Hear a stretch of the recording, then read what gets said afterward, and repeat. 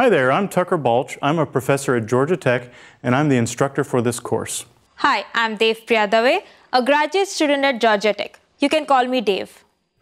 My original research was about machine learning for robotics, but in 2007 I became interested in using these same algorithms for investing. Since that time, I've shifted my research and teaching towards finance.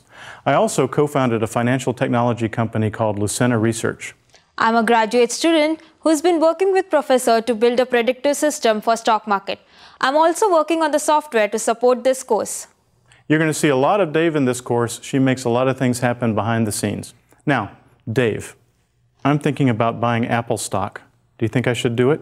Mm, well, it depends on a lot of factors. What are the other stocks in your portfolio? What do you think will predict stock prices? Also, how much risk do you think you can take it on? So, those are all good questions. And Dave is exactly right. We need to consider all of those things before we make an investment. Now, in this course, we're going to cover a lot of these issues. We're going to show you how information influences the movement of a stock price how to build software to analyze and visualize these relationships, and details about how the stock exchanges work.